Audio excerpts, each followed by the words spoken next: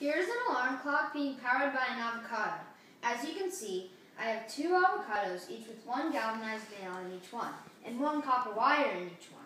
I connected the copper wire to the positive terminal on the clock.